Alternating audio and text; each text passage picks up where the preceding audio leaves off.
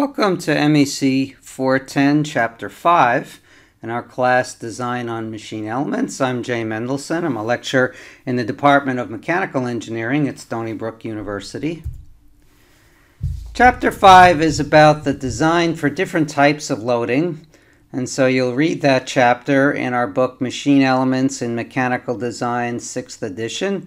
And the homework problems shown here will be assigned to you in Blackboard.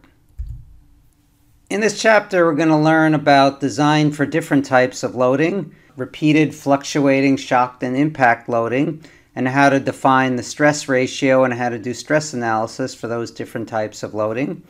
We're going to review the maximum shear stress and distortion energy theories for failure of ductile materials, define the fatigue and endurance limits, and we're going to use the Goodman method for designing parts subject to fluctuating stresses.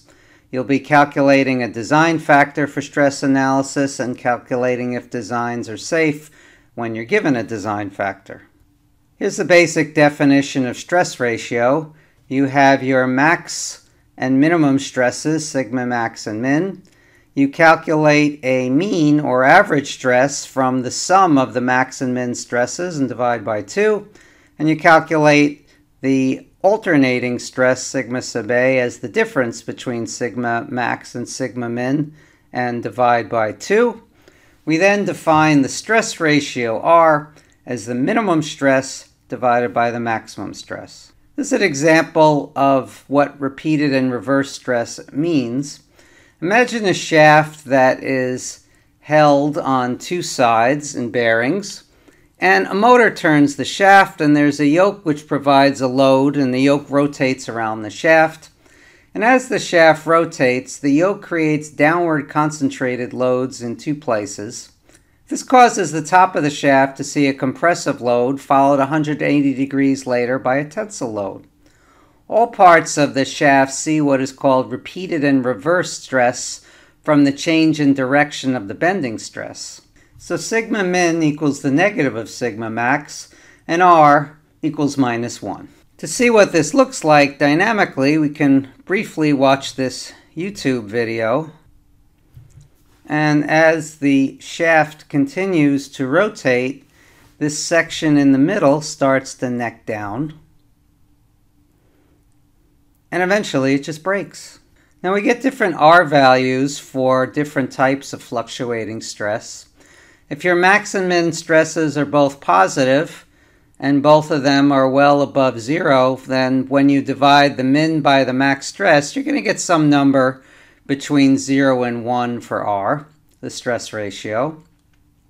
On the other hand, if we look at case B in the right upper side of the slide, if the max stress is a positive number, but the min stress is a negative number that's close to zero, then by the time you divide the min by the max, you're going to get some number for stress ratio R between minus 1 and 0. If you have a compressive mean stress that is somewhat less than 0, your max stress is a number slightly greater than 0, but your min stress is significantly less than 0.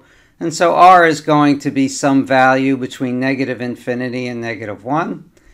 And if you have a compressive mean stress, then all stresses are compressive. Your max and min stresses will both be negative numbers. Your ratio R will be some number between 1 and infinity. Here's an example of how to analyze fluctuating stress.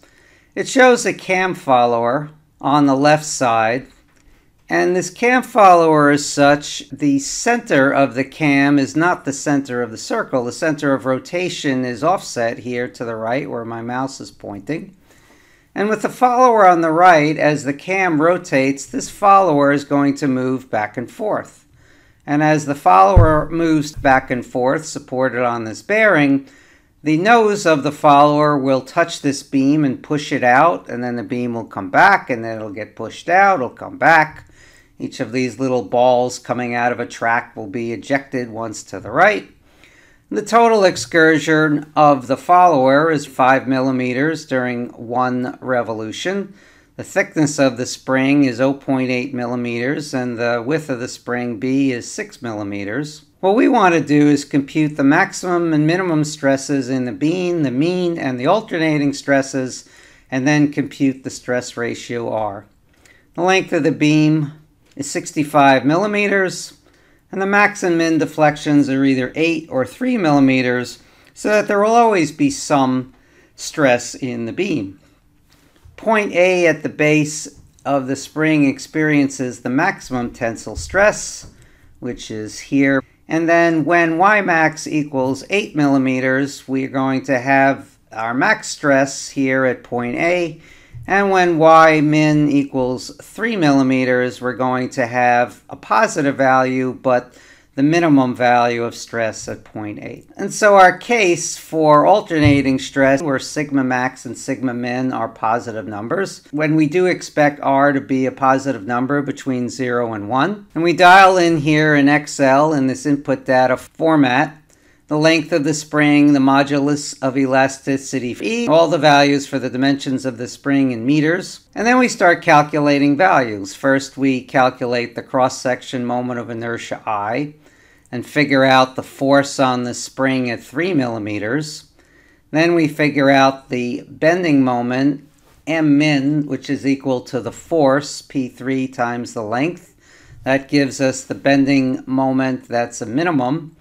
And we do the same for the max in order to get the bending moment when the spring is deflected 8 millimeters. We also know that our distance from the neutral axis is half the thickness, so it's a small number, only 0.0004 meters. And we can calculate m min, the bending stress on the spring caused by the minimum moment, which is 176 MPAs we calculate the maximum stress caused by the maximum moment, which is 470 MPAs. And then we can calculate here near the bottom the mean stress as the sum of the two divided by 2 and the alternating stress as the difference between the two. And then we can take the stress ratio R, which is the minimum stress 176 MPa and divide out by the maximum stress, which is 470 MPa, the stress ratio R equal to 0.38. Now we're going to review principal stress formulas that you have from Mohr's circle, if you remember that one from last year's classes. Our max principal stress, sigma 1, is the sum of sigma x and y plus the square root of sigma x minus sigma y over 2 squared plus tau xy squared. And the minimum principal stress is sigma x plus sigma y over 2 minus what was in the square root formula. Tau max is the square root of the quantity sigma x minus sigma y over 2 squared plus tau xy squared. Failure theories are going to be used to establish how do we know if a design is safe to use. The maximum shear stress theory, MSST is the acronym. A ductile material yields when the maximum shear stress exceeds that of the yield stress in a tensile test specimen. We know that the stress level is considered safe, meaning the part won't break, when tau max is less than or equal to Sy over 2n, where tau max is the max shear stress, Sy is the yield stress, and n is a factor we call a design factor or safety factor. And the idea is that the larger a value for the design factor, the more conservative the design's going to be, and the smaller the number will allow for the maximum shear stress in the design. We have a second theory called the distortion energy theory, and that makes a different assumption as to how you know when a ductile material yields. It says that the ductile material yields when the yield stress exceeds what is called the von Mises stress, sigma E, which is calculated as the square root of the quantity sigma 1 minus sigma 2 quantity squared plus sigma 2 minus sigma 3 quantity squared plus sigma 3 minus sigma 1 quantity squared, all divide by 2. And again, those sigma 1, 2, and 3 values are three principal stresses for when you have a 3D state of stress. And in this theory, known as DET, the stress level is safe when von Mises stress is less than or equal to Sy over N, where Sy is the yield stress and N is a design factor. And then you may ask yourself, well, what's the difference between these two theories and how do we know which one's right? And the answer is neither is right and neither is wrong. To understand that, we can plot what's known as a yield locus on a graph where sigma A is the stress on the x-axis, sigma B is the stress on the y-axis, and the distortion energy theory equation, which is this one, very nonlinear equation, yields a rotated ellipse, the dark line, when plotted in this way. And the maximum shear stress theory, which is a simpler equation per this slide, yields a six-sided figure, dotted lines here, and both yield locuses are such that if the xy stress as a point plotted is interior in what we call the non-yield region, then the part won't fail. And if the actual stress in the part is external to the region, then the part will likely fail. If you look at the plot of the yield locus for distortion energy and maximum shear stress, these curves are actually very close. In fact, here where my mouse is, this one region, two, three, region four, region five, and region six here, those small six regions are the gray area between understanding which theory better predicts failure. The distortion energy theory, with its slanted ellipse in the curve, will actually be a little more aggressive. It says the stress can get a little bit larger without failing than you get for the maximum shear stress. And as to which theory to use, in general, if we have an understanding of the von Mises stress and we're able to calculate it from the available data, we tend to use the distortion energy theory. And if we have a calculation uh, only of what the shear stress is, tau max, or if we have a part that's loaded only in shear, then we tend to use the maximum shear stress theory. Here is design example 5.4 in our book. It's design of a bar and rod for a welded assembly. And what we're going to do is use these theories to determine what dimensions we should assign to our components for a given force. And in this example, we have a rectangular bar of length from the attachment point, that is, of length b, an unknown width, and an unknown height. And we have a force on that bar downward at 250 pounds, which will lead to a bending in that bar and will lead to a shear stress. And the bar is welded to this circular rod, and so what the bar is going to do as the force is applied is cause this rod to rotate, and in particular, it's going to give a torsional stress on that rod as well as bending moment. And the largest stress on that circular rod of unknown diameter, but of a known length, 8 inches, will be at element B. The largest stress on our rectangular bar will be at element A. So first we're going to design the rectangular bar, then we're going to design the circular bar. We've decided in this problem to use steel for both parts of the bracket because steel has relatively high stiffness and ease of welding. We're going to specify SAE 1340 annealed steel, and we know from Appendix 3 that SY is 63, KSI, SU is 102.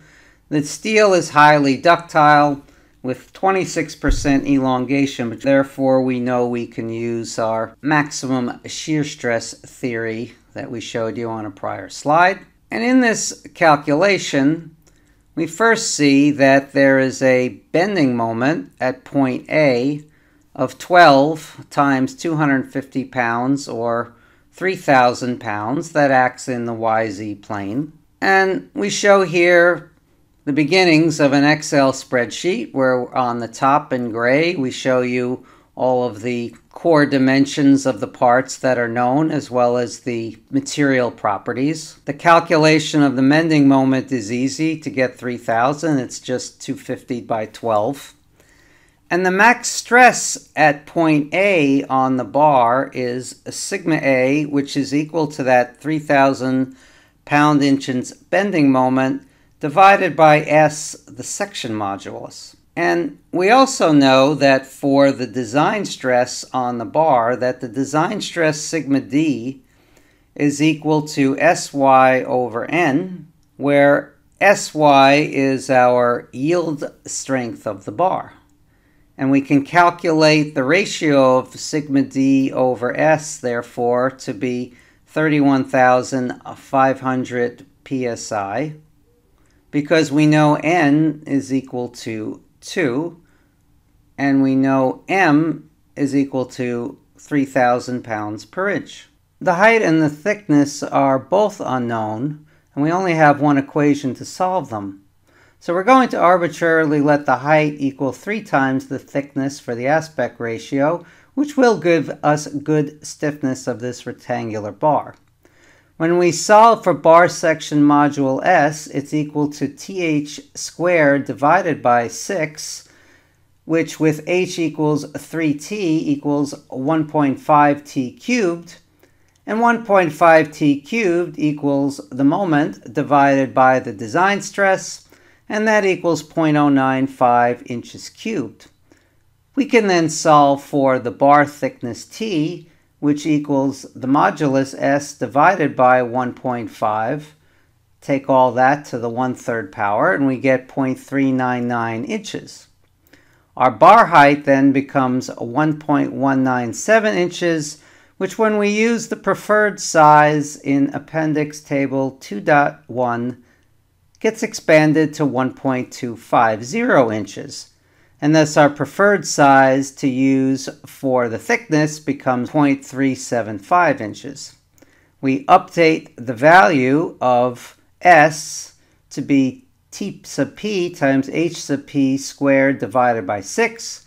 We get 0.098 inches cubed, which is slightly higher than the minimum required number of 0.095 inches cubed. Here we show the use of the preferred sizes.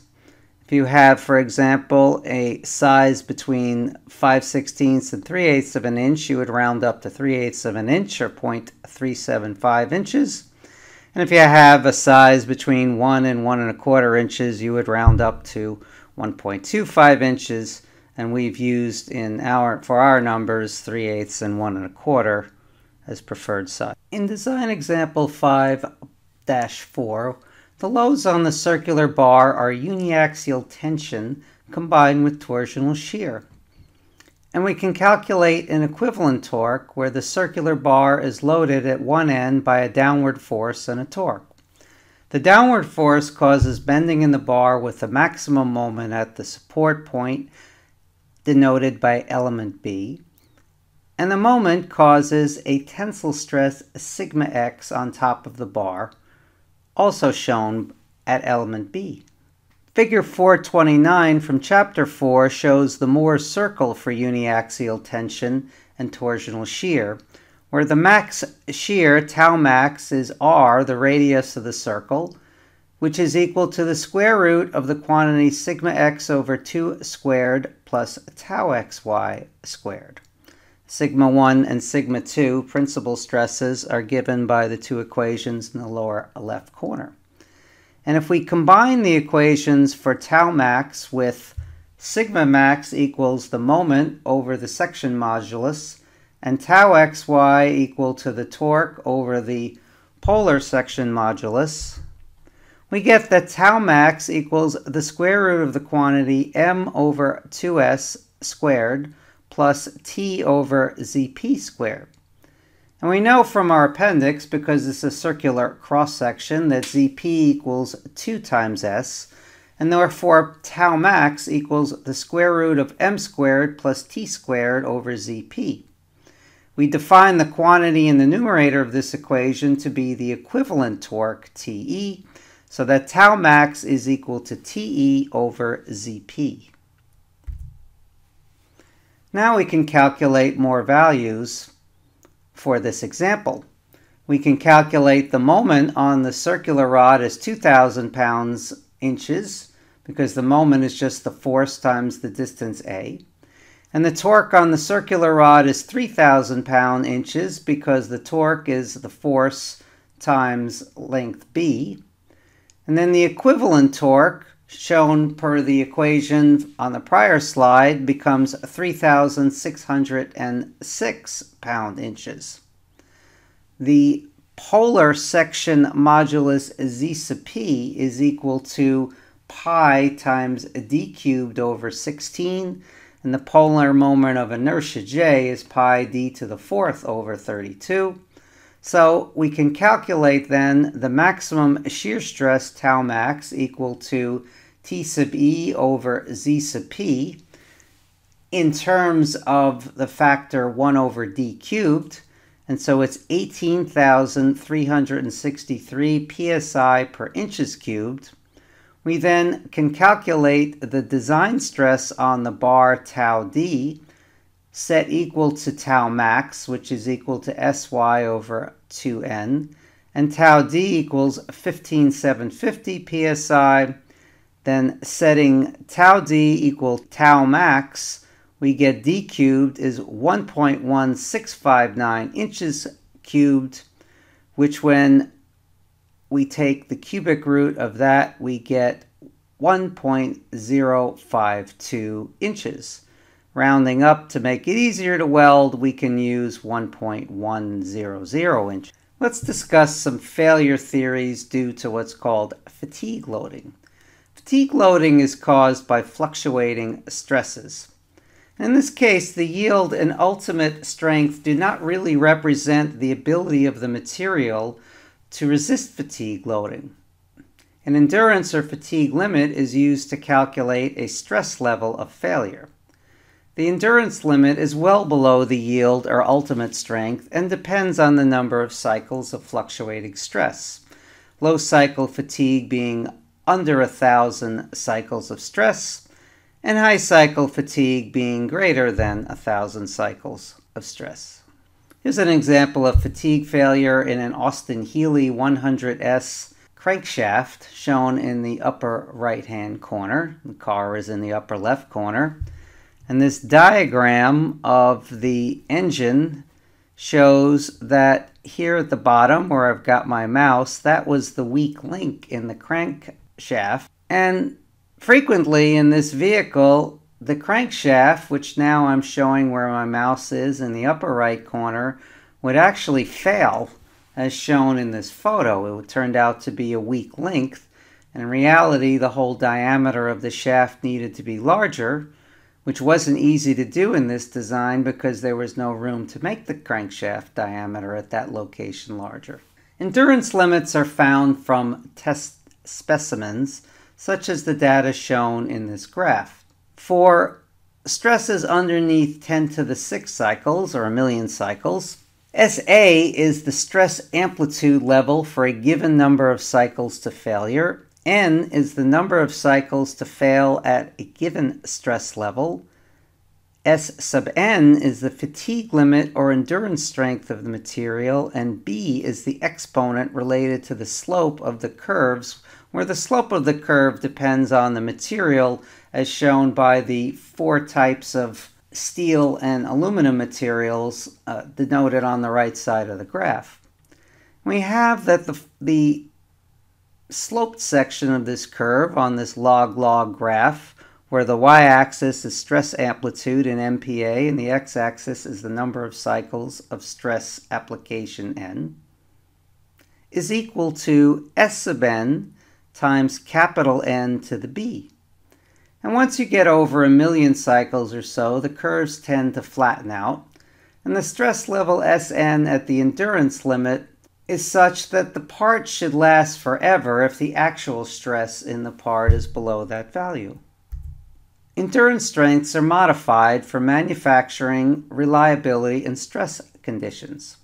So in our procedure for estimating the actual endurance strength S prime sub n, we first specify the material for the part and determine its ultimate tensile strength S sub u. We then specify the manufacturing process used to produce the part, paying attention to the condition of the surface in the most highly stressed area. This is figure 5-11 from our book, in which we have five different types of manufacturing processes for a part. And the way we use the chart is we first look up what is the tensile strength S sub u in KSI for our material, define which of our five manufacturing processes we're using to make the part, and then we intersect an x value for the tensile strength with the curve. In this case, I'm showing a red circle for machined and cold drawn steel. And then we read across to a y value on the chart in this case, we would find that for a tensile strength of 100,000 ksi, that the endurance strength S sub n is roughly 38,000 psi. We determine next a material factor C sub m from the following list, where the material factor just depends on whether using steel or cast iron and what type of steel or cast iron, so you pick a value. Wrought materials are usually rolled or drawn, and they are the most common materials that we use in the examples in the book, in which case the material factor C sub m is 1. We then determine a stress factor where C sub st is equal to 1 for bending or 0.8 for axial tension.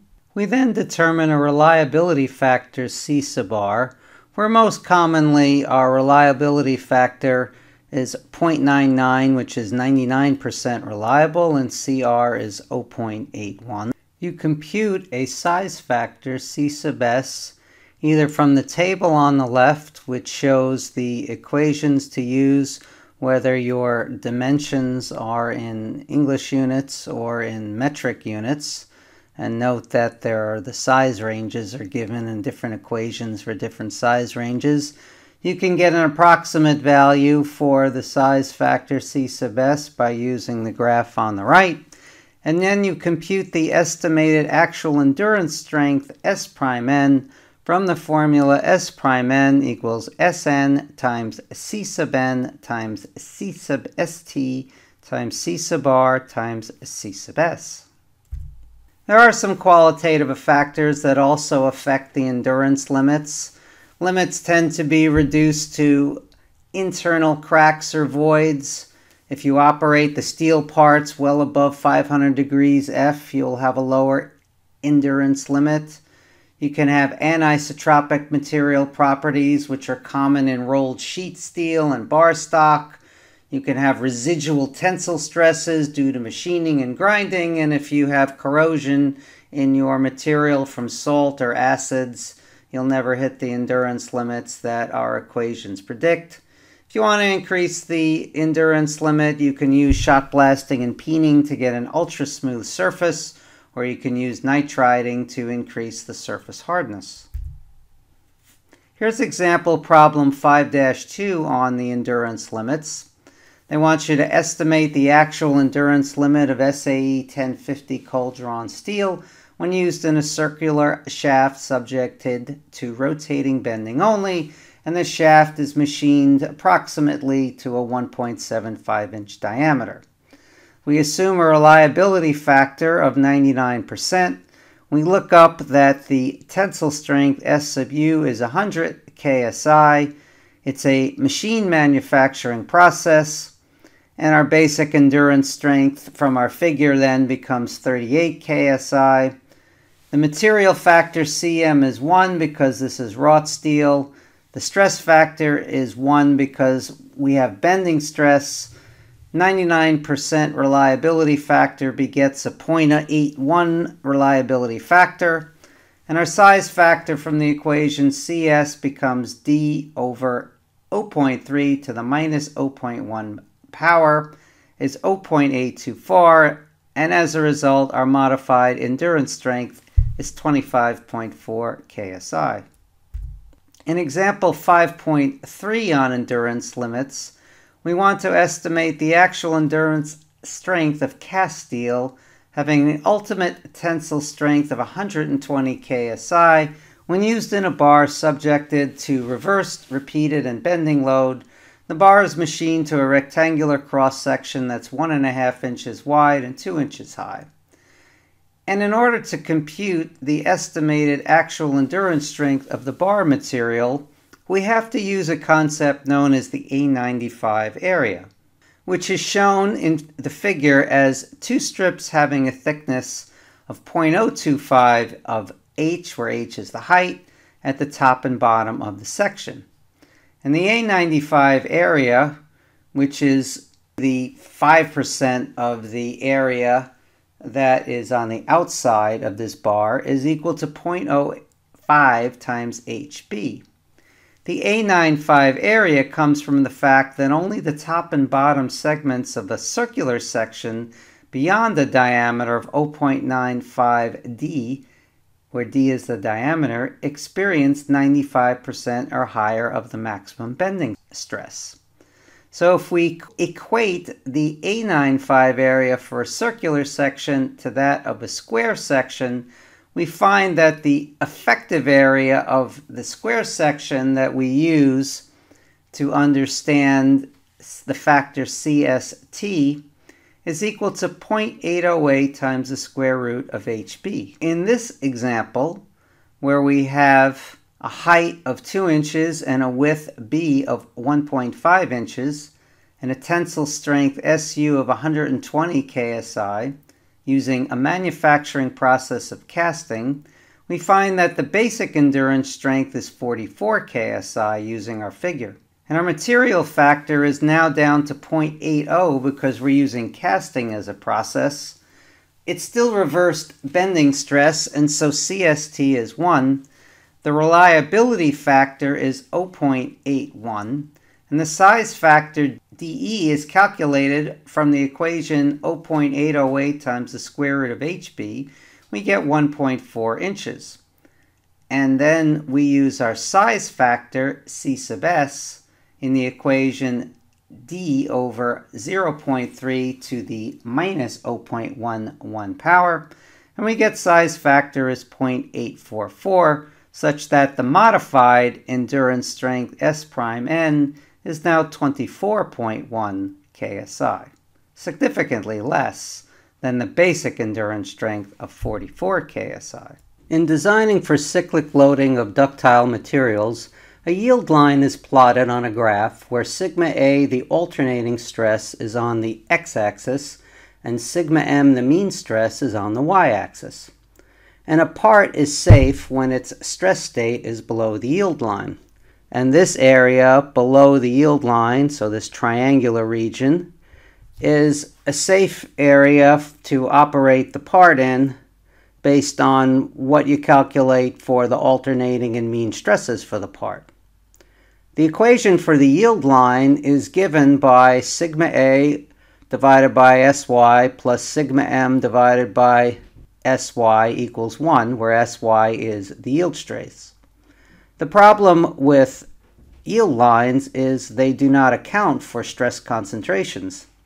Different researchers, guys named Gerber, Soderberg, and Goodman, propose different safe criteria for designing your part.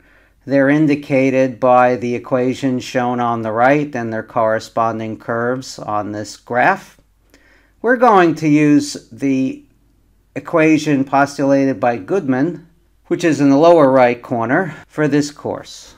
As described in Chapter 3, stress concentrators are due to a sudden increase in stress due to a dislocation in the part geometry. Using a stress concentrator, the max stress, sigma max, equals kT times the nominal normal stress, and the max shear stress equals kT times the nominal shear stress. Stress concentrators can be disastrous for brittle parts due to part fracture, and you must use kT in areas of cyclical tensile stress. When you're designing a part, you want to use gradual changes in geometry, fillet radii, blending of mating surfaces, where possible to reduce the stress.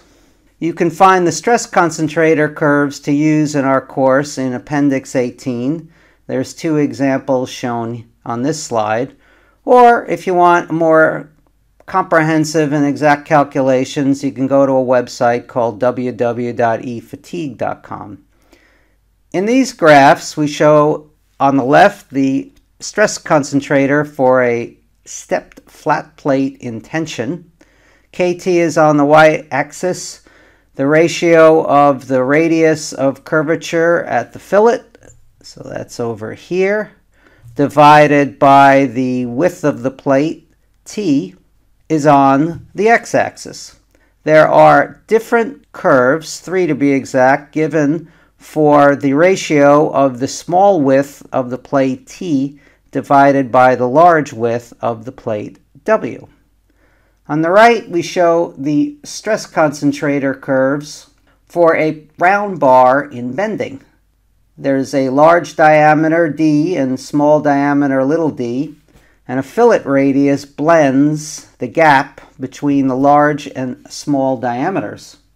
On the y-axis, you have the stress concentrator to use, KT, and on the x-axis, you have the ratio for this fillet radius, R, divided by small d, and there's three curves to use given by the ratio of the large to small diameters.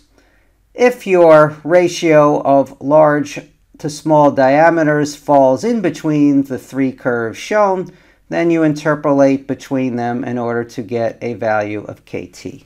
In the Goodman criteria, we use S prime n, the endurance limit, on the y-axis, shown in this red circle, and SU, the tensile stress, is the intercept on the x-axis. The Goodman criteria is commonly used for shafts subject to cyclical stress, which we will study in Chapter 12. The equation is kT times sigma a divided by s prime n plus sigma m divided by su equals 1 over n. kT is the stress concentration factor and n is our design factor. And KT also applies to sigma m, the mean stress, when guarding against failure due to low cycle fatigue, although this is not a common occurrence. We have four different Goodman criteria for fluctuating stress on ductile materials. The four equations to use here are shown for the normal stress design equation on top, that's our most common one, but we can also use the Goodman criteria to check yielding and tension for a shear stress design equation where there is no normal stress, and to check the yielding in shear. Now we're going to show how to use the Goodman criteria for fluctuating combined stresses. For the maximum shear stress theory, MSST, we draw two Mohr's circles, one for the mean stress, one for the alternating stress. And from the first circle, we determine the maximum mean shear stress, tau m max. And from the second circle, we can determine the maximum alternating shear stress, tau a max. And then we use these values in the design equation shown, kt times tau a max divided by s prime sn plus tau m max divided by ssu equals 1 over n. And in the absence of any shear strength data, we can use estimates. S prime Sn equals 0.577 times S prime N, and SSU equals 0.75 times SU, where S prime Sn is the modified endurance limit for shear, and SSU is the ultimate tensile strength for shear stress. Here's a few design tips that you can use to reduce fatigue loading. You want the point of maximum bending moment to occur where your diameter of the shaft is largest. You want to use very large radii to blend small diameters to large diameters. And you want to avoid any other sudden changes in cross section as well as features like notches and holes at points of large stress where the local stress concentrators can magnify these large stresses. On the right side of the slide, you see the pistons of a four cylinder automobile engine and a crankshaft, and some of the things that the automobile designers do to reduce fatigue loading is to specify highly polished surfaces at the location of critical stresses and provide large radii where the diameters change abruptly. Generally, you want to try to machine the shaft parallel to the major axis and increase surface smoothness with shot blasting or nitriding. And you want to avoid process methods that produce residual stresses, such as welding of the shaft and rapid quenching heat treating.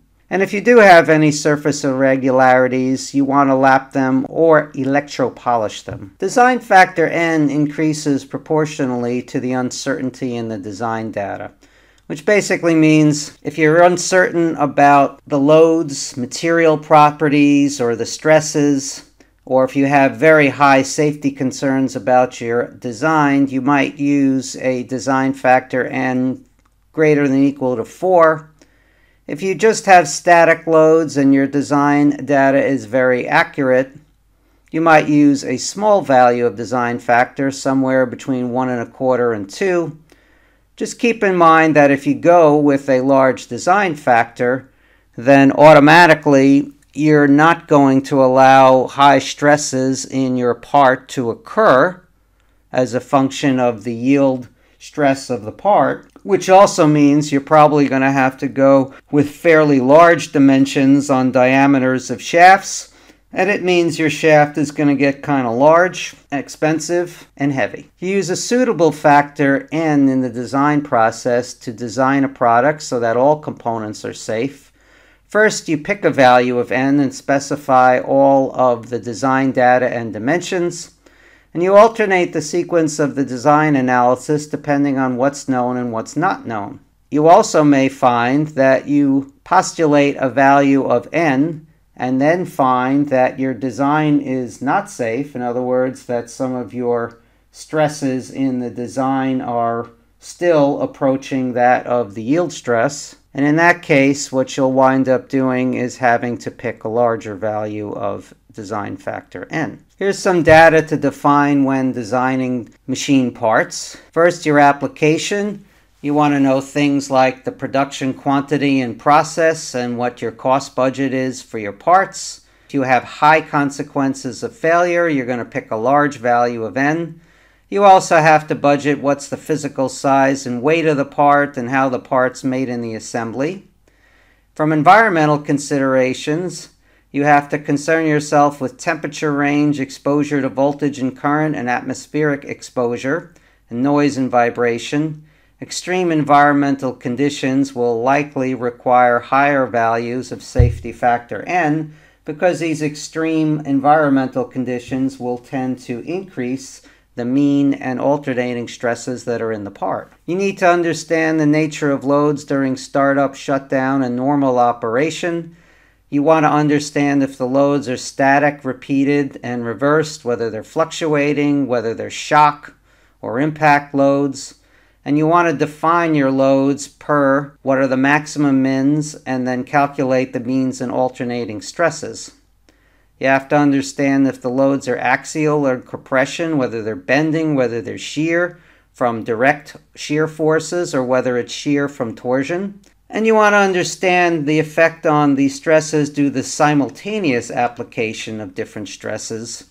In extreme conditions in shafts, you may have to worry about buckling. Your required material properties include the yield strength, ultimate tensile strength, compressive strength, endurance, stiffness, ductility, toughness. Are you going to use a steel ferrous material such as plain carbon alloy or stainless, or does your design warrant the use of non ferrous metals such as aluminum, brass, and bronze? Are there going to be any weaker materials in your design such as plastic, ceramics, or wood? You are well advised to use ductile materials which have greater than 7.5% elongation If necessary, you can use brittle materials, which generally are defined as less than 6.5% elongation. The ductile materials are highly preferred for components subject to fatigue, shock, and impact loads, and you must also understand the thermal electrical properties. Here's three ways that you can run through your design process. In method one, the component geometry and loading are known, and then you just apply the design factor n to the expected stress to determine the required strength of the material. Choice two is that the component loading and material are known, and then you compute the design stress by applying the design factor n, calculate the max allowable stresses, and determine a safe geometry based on the location of the max stresses. Third choice is that you know the component geometry, loading, and material, in which case you compute the expected max applied and design stress. You compare these stresses to determine a suitable design factor n, and you redesign the component if the design factor n is either too low or too high. Here are some practical considerations for you when designing machine parts. First off, the design has to fit within the overall production cost budget. You can't arbitrarily over-design the part just to know that the part is going to be infinitely safe. You should be checking with your suppliers for material availability and you specify dimensions and tolerances in line with mating parts, which we'll cover in Chapter 13.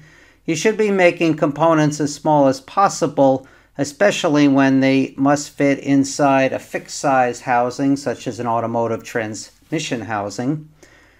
You round dimensions to standard sizes of raw material, and you have to specify tolerances in line with the actual manufacturing process an overspecification of tolerances will just be rejected by whichever supplier is trying to machine your parts. You should try to specify smooth finishes as a way to meet stress levels. Otherwise, your cost could go up dramatically if you try to just increase dimensions arbitrarily.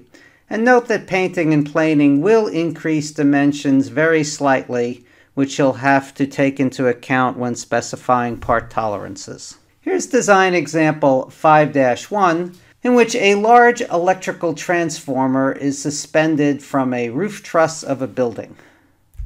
And here's what that actually looks like. Now you may wonder why would anyone want to suspend something so heavy where it could drop on someone's head. In actuality, this is how buildings are constructed before all the electrical connections are made.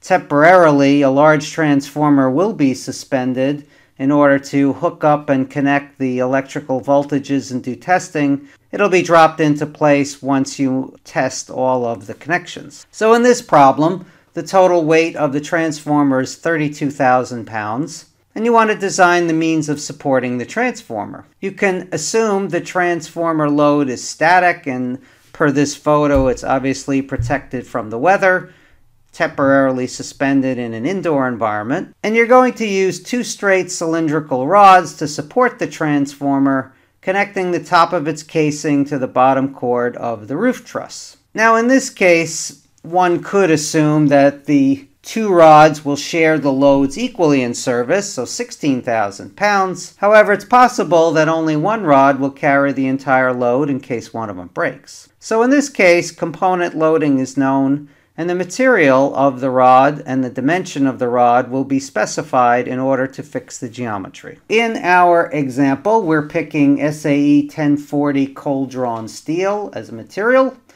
and the yield strength of the rod per Appendix 3 will be 71,000 psi. And because we have some uncertainty about our design data, and because we have some safety concerns, we're going to have a design factor N of 3. When we calculate the design stress, sigma d, it's the yield strength, 71,000, divided by 3, the design factor, so we get 23,666 psi. The tensile area of the rod is then the force, which is 32,000 pounds, divided by the design stress, so we get 1.352 inches squared. And we look up on appendix table A2-2B, for an appropriate thread size, And we find that a thread size of 1.405 inches squared, which is slightly larger than what we need, which is 1.352 inches squared, corresponds to a 1.5 inch dash 6 UNC thread. The thread area of 1.405 inches squared is then greater than the minimum value we need with a design factor of 3. Here's another example, which is the design of a pin for a production conveyor system. In this design, a part of a conveyor system for a production operation is shown in figure 5-16, and the pin connects a horizontal bar to the fixture.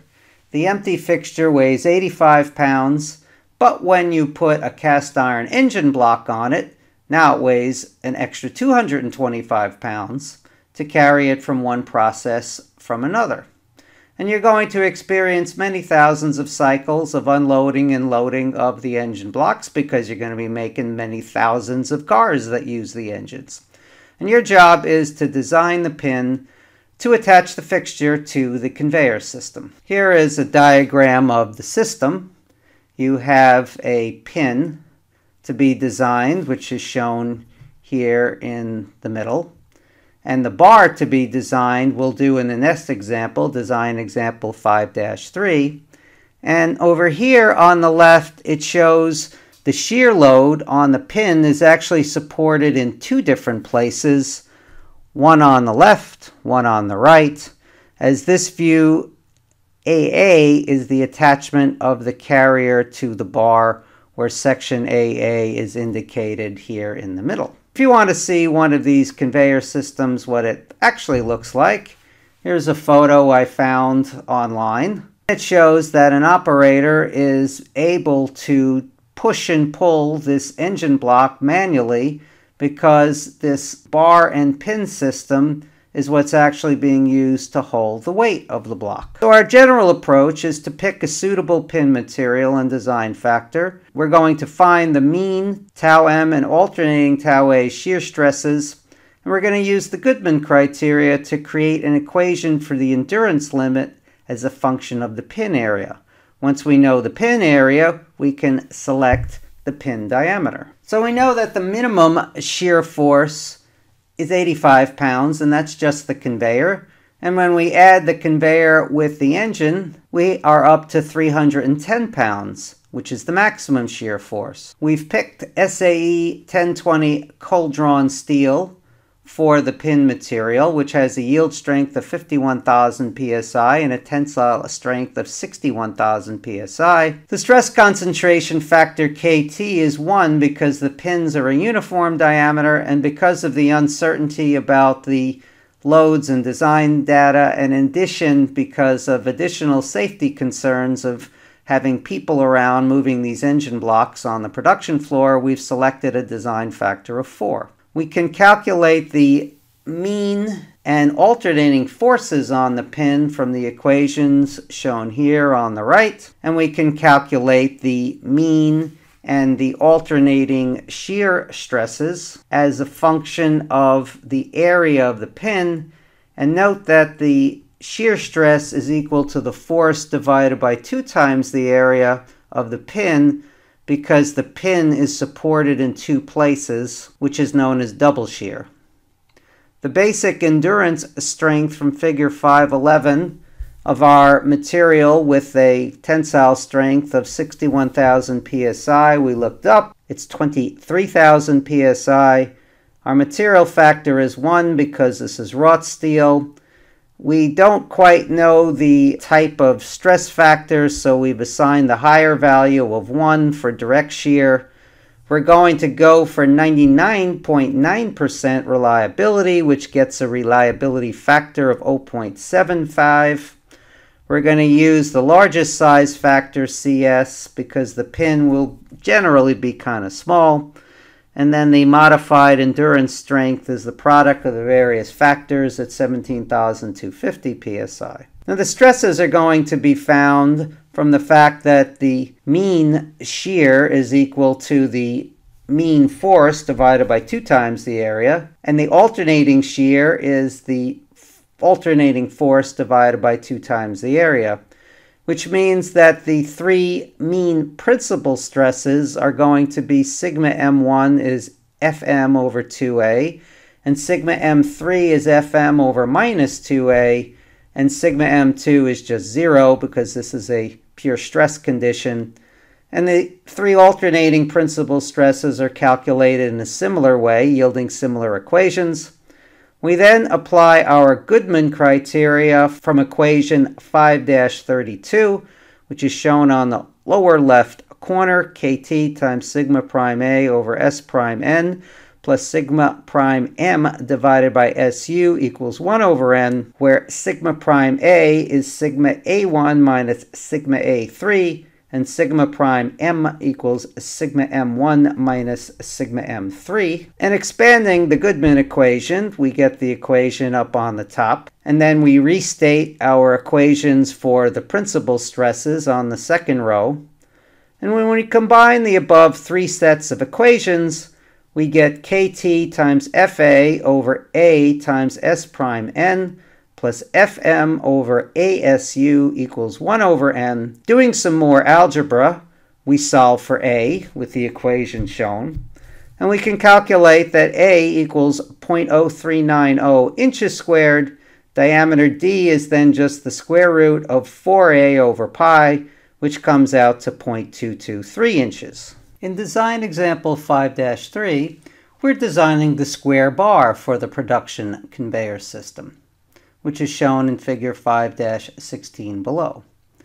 Now the complete system will include several hundred hanger assemblies like this one, we're just designing one. And we're going to design the horizontal bar that extends between two adjacent conveyor hangers and supports a fixture at its middle. The empty fixture weighs 85 pounds, the cast iron engine block weighs 225 pounds, and it's hung on the fixture to carry it from one process to another where it's then removed.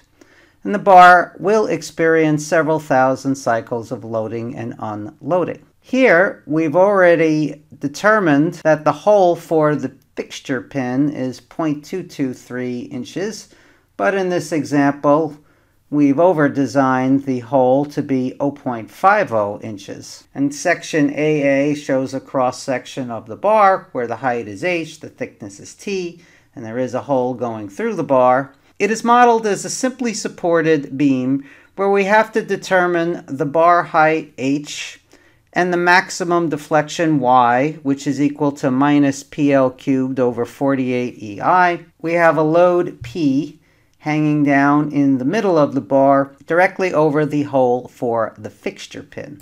The thickness of the bar T should be large enough to provide a good bearing surface for the pins, to ensure lateral stability, and to prevent buckling. And as a design decision, we're using a thickness of T equals 0.5 inches. On the left, we show the shear and moment diagrams for the fixture only, and on the right it's the fixture with the engine block. The shapes of the diagrams are similar, except for the fact that the fixture only in the middle has a moment of 510 pound inches. When you add the engine block, that moment goes up to 1860 pound inches. As a general approach, we're picking the bar material and a design factor. We're going to find the mean and alternating bending moments, use the Goodman criteria to find the endurance limit as a function of section modulus S. We're going to solve for the minimum required section modulus of the solid bar and the bar height, round the bar up to the nearest preferred size, then solve for the section modulus with a half inch diameter hole for the pin, checking that the actual section modulus is still greater than the minimum required. And last, we will check that the max deflection of the bar is small enough to be acceptable. Here's our solution to design example 5-3. The input data is shown in the gray area. The max force on the bar is 310 pounds and the length of the bar is 24 inches. We chose SAE 1020 hot rolled steel, which has a yield strength of 30,000 psi and a tensile strength of 55,000 psi. We assumed a bar thickness of a half inch, and we needed a first estimate of bar height of 2 inches because we have to calculate initial size factor. We've assumed a pinhole of half an inch. We have a stress concentration factor of 1 because the small hole for the pins does not significantly weaken the beam. And we have a design factor of 4, mostly due to the safety concerns. The mean moment of the beam is calculated from m max plus m min divided by 2, and the alternating moment from m max minus m min over 2. And our bar section modulus S without the hole is th squared divided by 6. We have a basic endurance strength of 20,000 psi. We've chosen a reliability factor of 0.75 because we want 99.9% reliability. The size factor DE is 0.808 times the square root of HB, where we're assuming the initial try value of H equals 2 inches, which yields a size factor of 0.897 and a modified endurance strength S prime N of 13,451 psi. The Goodman criteria is shown here where my mouse is rearranging terms with the Goodman criteria and equations for stresses sigma m and sigma a, we get this equation. I'm circling with my mouse.